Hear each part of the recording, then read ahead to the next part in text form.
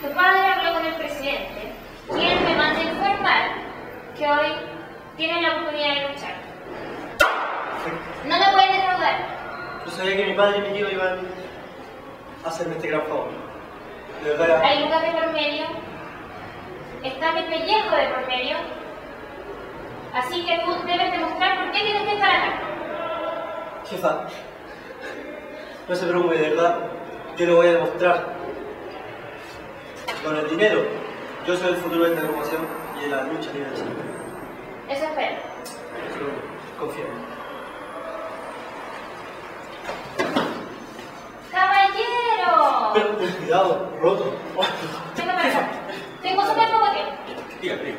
El presidente manda a informar que hoy se debe comunicar a todo nuestro respetable público ¿Quiere que lo haga yo? ¿Presidente quiere que haga algo yo? para que está aquí usted. Sí. Ya. El día 8 de julio tenemos año cero. 8 de julio, año cero.